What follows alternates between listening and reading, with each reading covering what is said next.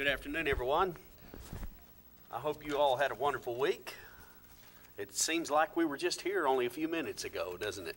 And if you're watching DVDs back to back, I guess it was a few minutes ago, wasn't it? It wasn't long after the most incredible week the disciples had ever experienced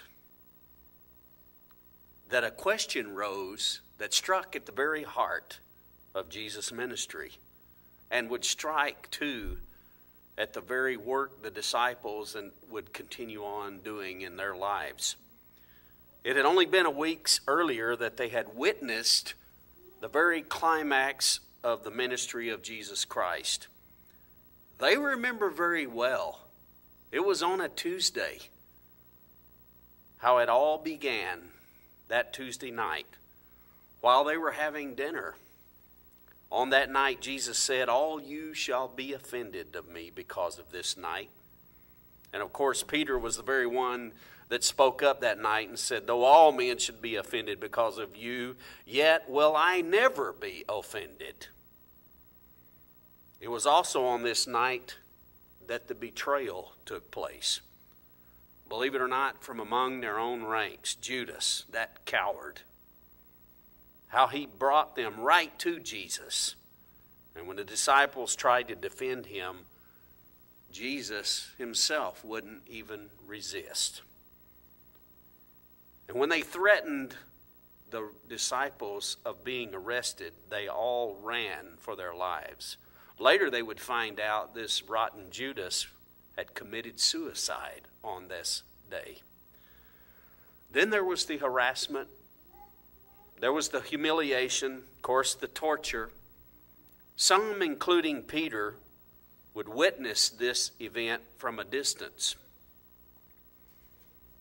Even on that night, a damsel would come to Peter and say, You were with Jesus of Galilee. And he'd say, and he would say, I know not what you say. And again, another maid would come to him and say, This fellow was also with Jesus of Nazareth. And he would, with an oath, deny and say, I do not know the man. And later, the, those that were gathered around the fires there waiting for the outcome said, Surely you are also one of them, for your speech betrays you. And he began to curse and swear and say, I know not the man. And of course, you know the story about that time. Early in the morning, the rooster crowed. Just like Jesus said that before the rooster would crow in the morning, you will deny me three times. Then came Wednesday, the brutal crucifixion, the darkness, the earthquake, his death, and finally, his burial. It became a day of lost hope. The fear that I, I might be next to be arrested was in the air.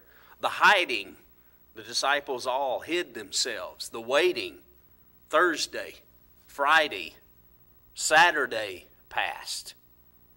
And Saturday evening, when the women came running to say that he has risen from the dead, and they were told that they were to be in Jerusalem to meet him later. Peter ran in and saw the tomb and the graves closed. He made no comment. He may have even doubted that he had risen from the dead. And we know the story that by Sunday evening, he suddenly appeared in a locked room to his disciples. And he said, Peace be unto you. Remember the story. This was the first time he would appear to all the disciples with the exception of Thomas. Thomas wasn't there. And when they later told Thomas, he said, you know, he demanded that he put his hand in his side and put his finger in the wounds before he would believe. Eight days would go by later. On a Monday, he again appeared to them and said, Peace be unto you. And again, this time Thomas was there. And of course, you remember the story how he did put his hand in his side, dropped to his knees, and said, My, my Lord and my God. Some time would pass before this next occasion which would be the third appearance to all of his disciples. In John, the 21st chapter, we pick up the story here. It is amazing to me that on these other occasions, no conversation is recorded between Jesus and Peter.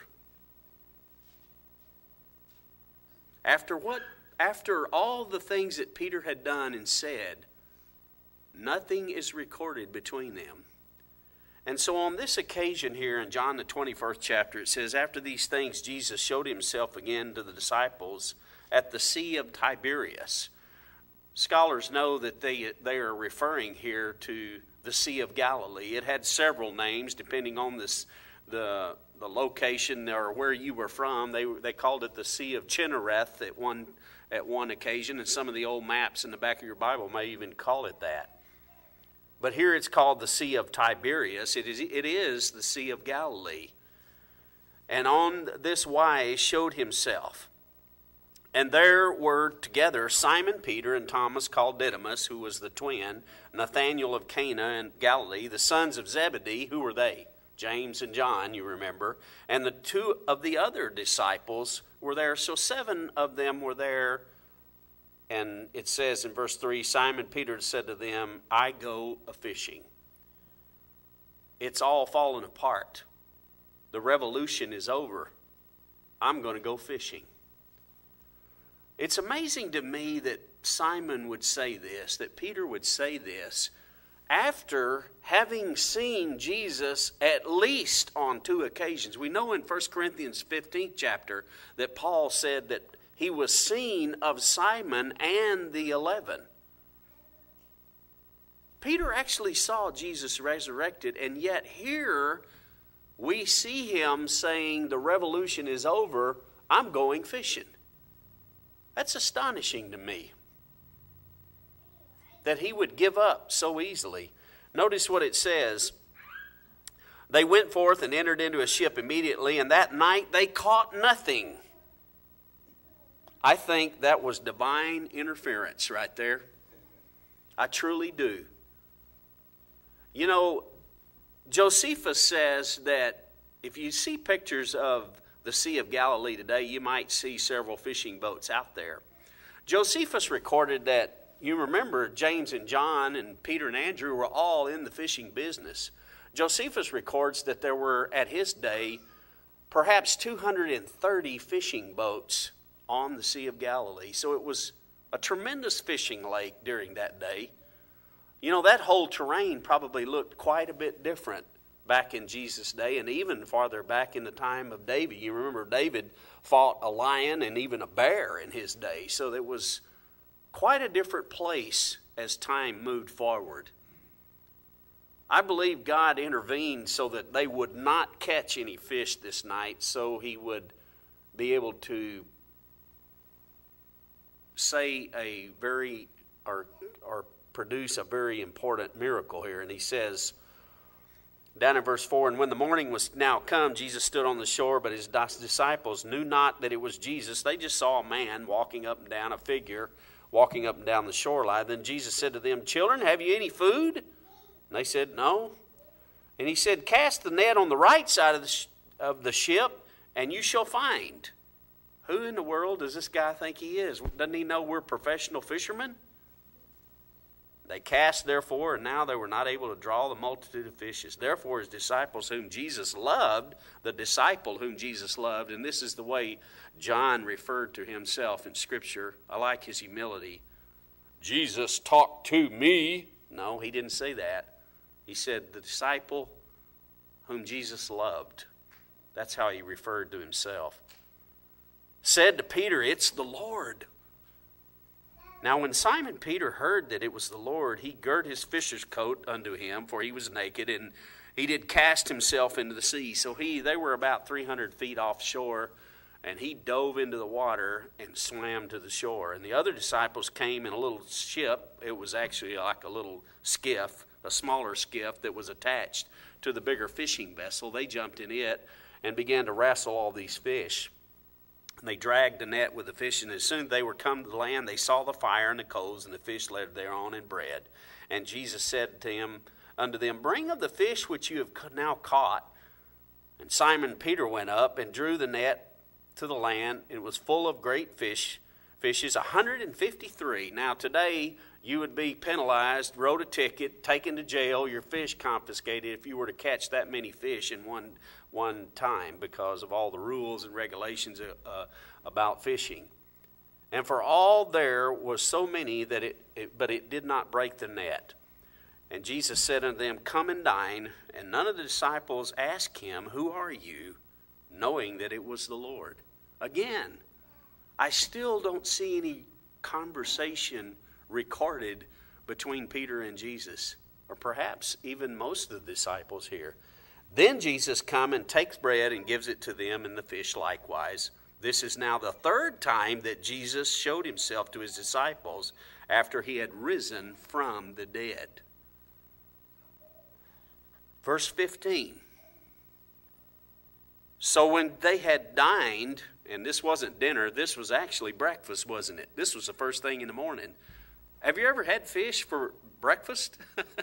Some of the fishermen probably had. There's nothing better to me than cold fish on a, uh, in the morning. I love that. I don't know why, but we'll cook fish sometimes and then we'll put the leftovers in the fridge. I love to eat cold fish out of the refrigerator in the morning. I, I love it, but they had fish here baked on these on this fire very first thing in the morning. And it says, Jesus said unto Simon Peter, Simon, son of Jonah, do you love me more than these? What is interesting here is that Jesus didn't call him Peter. You know, he had actually named him you're going to be called Peter, right? Remember? Pebble. And upon this rock, Petra, will I build my church. He said, You're no longer going to be called Simon, but Peter. But on this occasion, he refers back to his old name and calls him Simon. It's as if he's reaching back to the old man, Simon. And he said, Do you love me more than these? Do you agape or agapeo is the term that is used here. Do you have that kind of love for me? And he said, Yes, Lord, you know that I love you. He said unto him, Feed my lambs. He said unto him again the second time, Son, Simon, son of Jonah, do you love me? And he said unto him, Yes, Lord, you know that I love you. And he said unto him, Feed my sheep. And he said unto him a third time. Now, this is where it gets a little bit focused now on Peter. You know, all of Jesus' ministry, he would say, What is it that the people say of me? He would ask these great general questions to his disciples. Oh, they say that you're the Son of God, or some say you're Elijah. But here he is pointing the spotlight directly on Peter. And he's saying here for the third time, Simon, son of Jonah, do you love me? And even the Bible here records that Peter was grieved because he said unto him the third time, Do you love me? This, of course, was the same Simon who had promised that he would not betray him. This is the Simon that stood up and said, I'll go and die with you. Wash, don't wash just my feet only, but my whole body. This was the Simon that said, Even if the whole world denies you, I will never deny you. In the back of his mind, Peter must have been thinking, Yes, I love you, but I denied you three times. And I cursed. And I used an oath.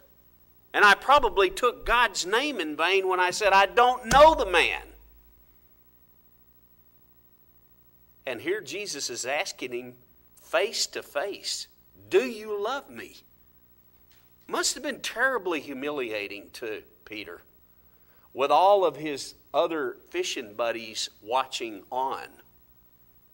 I think Jesus did this for two purposes here. I think he did this to remind Peter, to put Peter back on the track of the work that he had to do in his life, but also to let the other disciples know that he had forgiven him for betraying him, for uh, not betraying him, but for denying him. I think that there was two purposes in mind. And he said unto him, Lord, you know all things. You know that I love you. And Jesus said unto him, Feed my sheep. It is such a powerful passage there to me.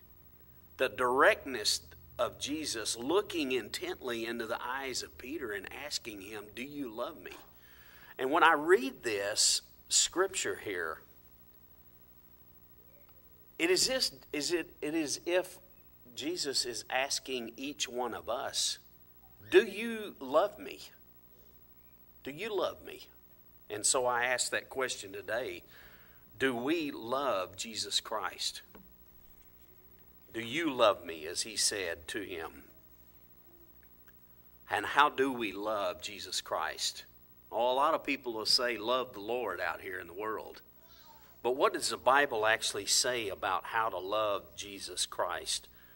And what does it mean to love him? And who are his sheep anyway? Jesus said to feed my sheep. Who are the sheep? Well, Jesus on one occasion said, I'm not sent but the lost sheep of the house of Israel. Remember that. He said, I, I send, and even he told his disciples, I send you as sheep among wolves.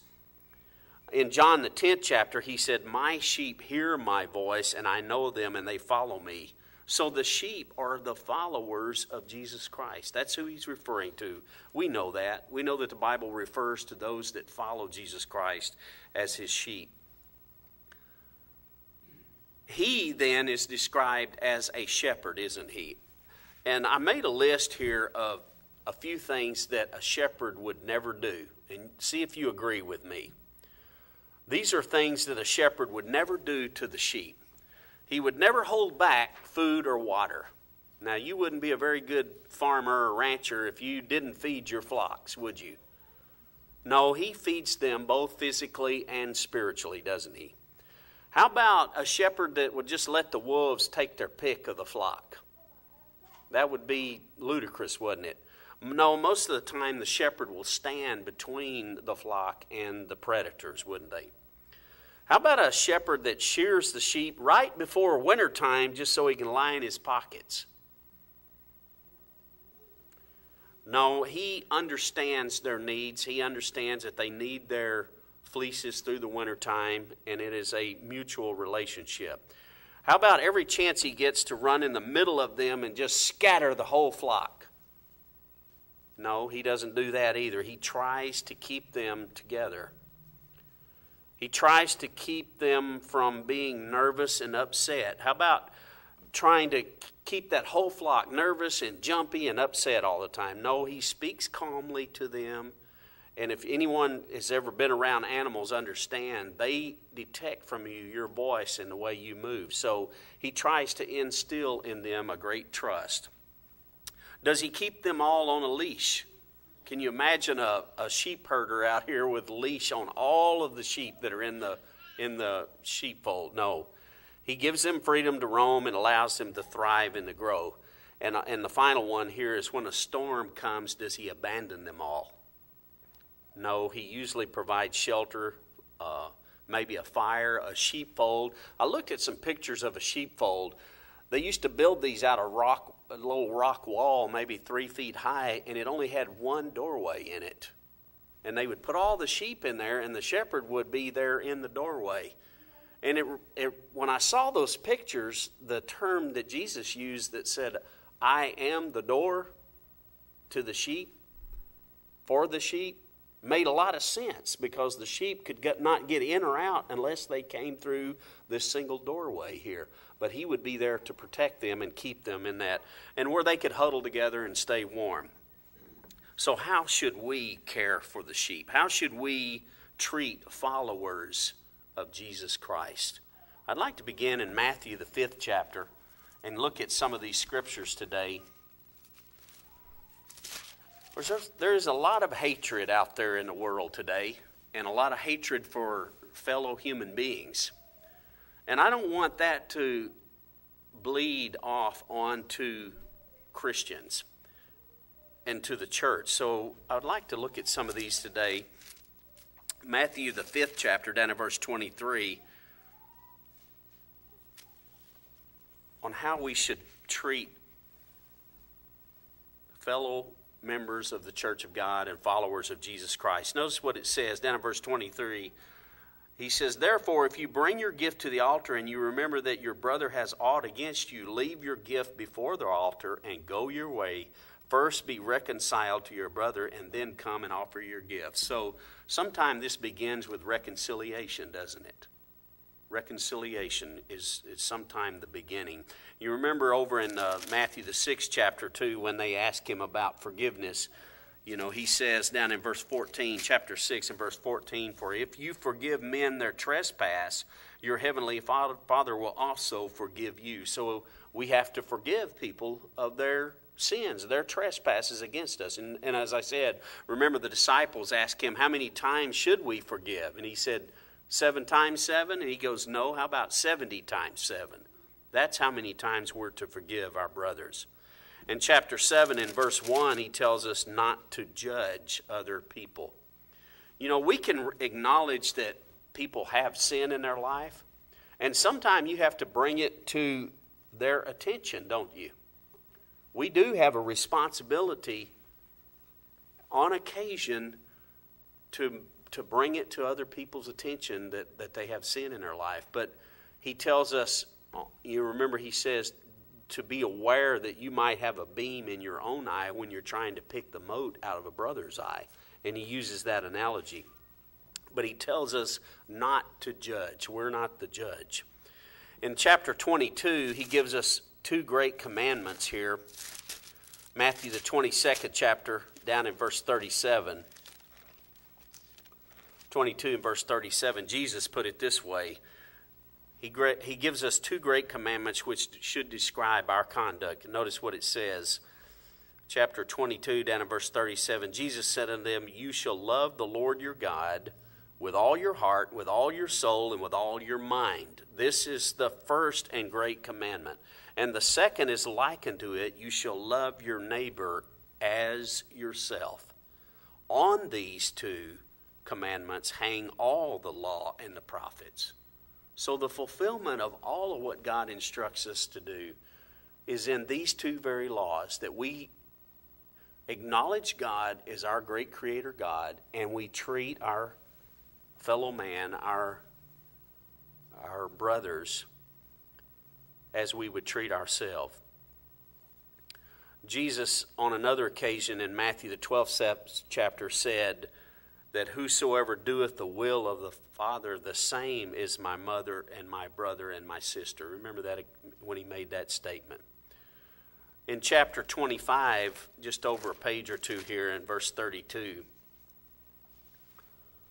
he says, When the Son of Man shall, beginning verse 31, when the Son of Man shall come in his glory and all the holy angels with him, then shall he sit upon the throne of glory, and before him shall be gathered all nations, and he shall separate therein one from another as a shepherd divides his sheep from the goats. So here is the determining factor here of what is a sheep. And look what the determining factor here is. And he shall set, set his sheep on his right hand, but his goats on the left. Then shall the king say unto them on his right hand, Come, ye blessed of my father, inherit the kingdom prepared for you from the foundation of the world. You're going to be the recipients of the kingdom of God, and this is why. For I was hungry, and you gave me meat. You gave me food. I was thirsty, and you gave me drink. I was a stranger, and you took me in. I was naked, and you clothed me. I was sick, and you visited me, and I was in prison, and you came to see me. So here, he describes the needs of these people out here. And notice what he says Then shall the righteous answer and say, Lord, when saw we you hungry and fed and thirsty and gave you drink? When did we see you a stranger and took you in, or naked and clothed you? Or when, sh- When saw we thee sick or in prison and came to you? And he said, And the king answered and said unto them, Verily I say unto you, insomuch as you have done it unto one of the least of these my brethren, you have done it unto me. And of course, those that didn't do those things, he told them, Depart from me, you that work iniquity. So it is a, a, a factor, a determining factor of the sheep of God or the people of God, how they treat one another. John, in John the 13th chapter, I'd like to go over there, he, he also gives a what he calls a new commandment over in John the 13th chapter. He says down in verse 34, John the 13th chapter. Down in verse 34, he says, A new commandment I give you that you love one another as I have loved you, that you also love one another. By this shall all men know that you are my disciples, if you love one another. Jesus said on, a, on one occasion, Greater love has no man than he lay down his life for his friends. And that is exactly what Jesus did for us. And we must be willing, in a sense, we must be willing to lay down our lives for our brothers as well. That's pretty difficult, isn't it, to do, to even contemplate. You know, we might be willing to lay down our lives for our family members, our wife or husband, our children, but for a brother, that's a, that's a little bit reaching, isn't it? And yet Jesus is using that example here.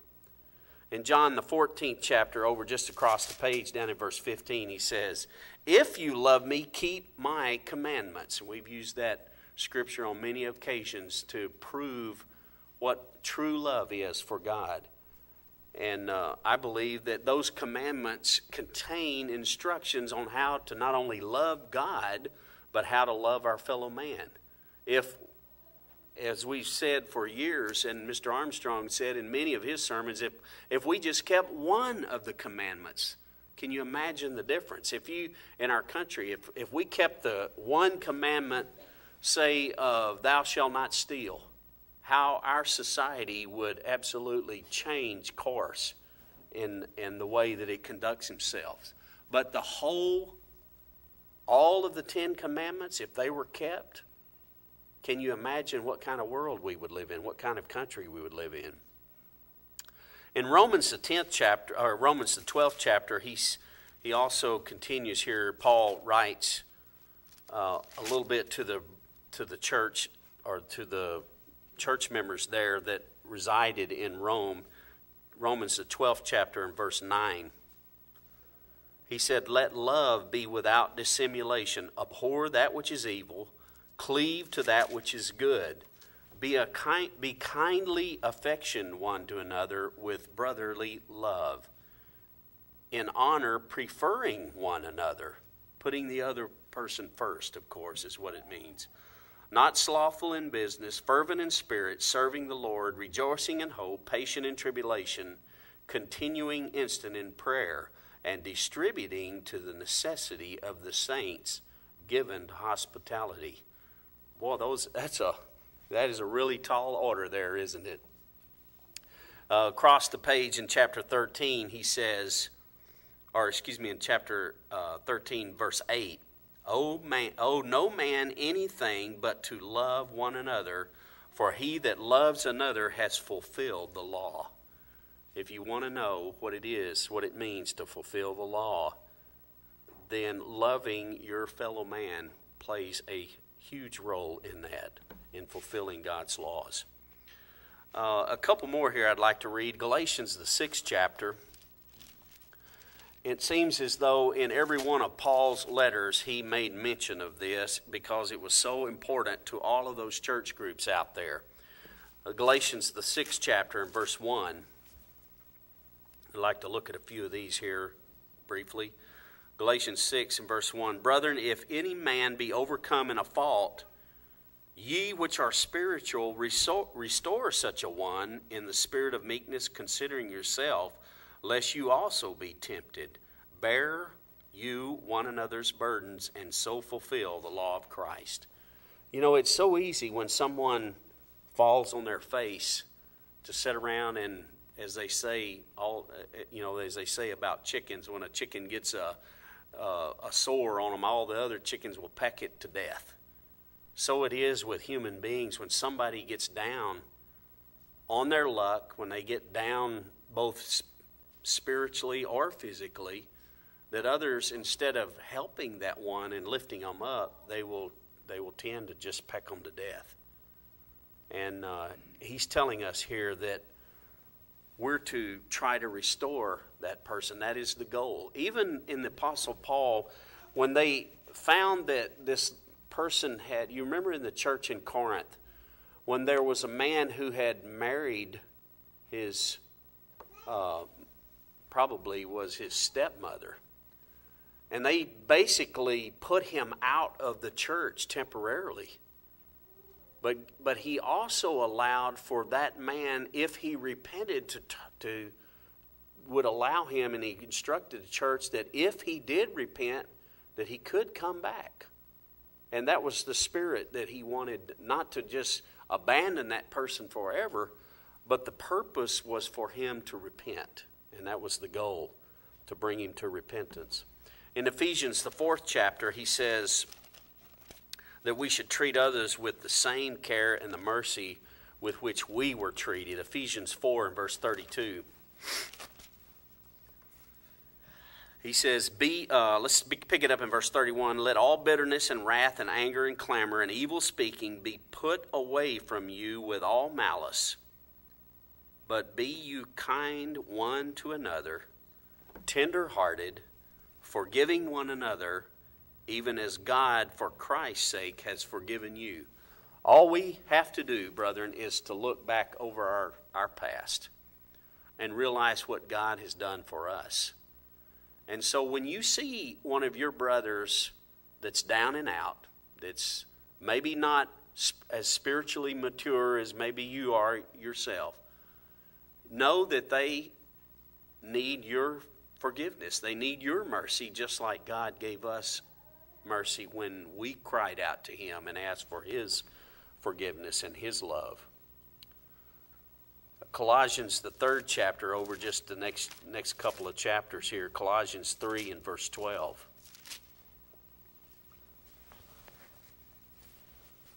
And we, we look at these Christian virtues here.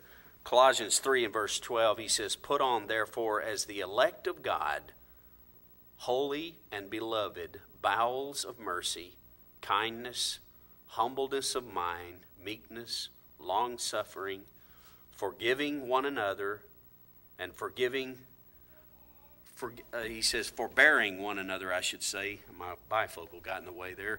Forbearing one another and forgiving one another. If any man have a quarrel against any, even as Christ forgave you, so also do you. And above all these things, put on charity, which is the bond of perfectness. That's the glue that holds it together. Love and forgiveness is what holds the Christian life together.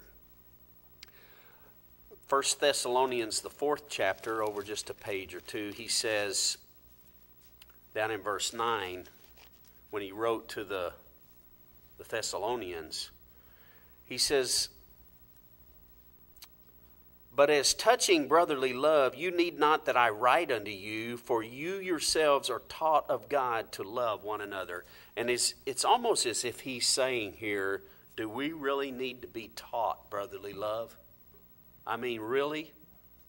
Do we really need to be instructed how to have brotherly love one for another? I mean, that is the basis of our, of our doctrine, our Christianity. And indeed, you do it toward all brethren which are in all Macedonia, but we beseech you, brethren, that you increase more and more. And of course, he wanted encouraging them to, to really have a love and a bond and a, an affection for the brotherhood. Uh, 1 Peter 1, just a few, few more scriptures here. 1 Peter 1 in verse 22.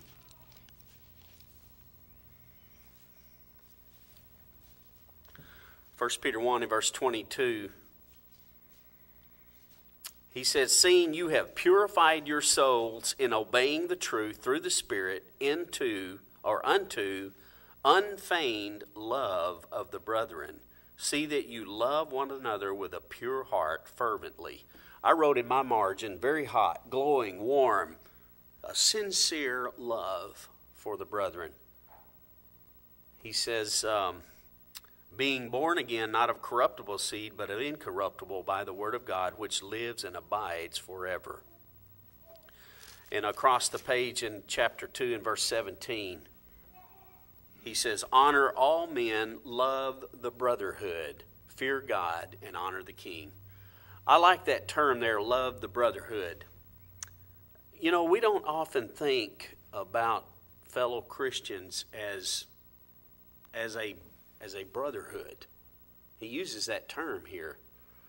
We do call other Christians brethren, don't we? We use that term. I don't know why we don't say sisterin, but we do. We say brethren. And some people corrupt the word brethren, don't they?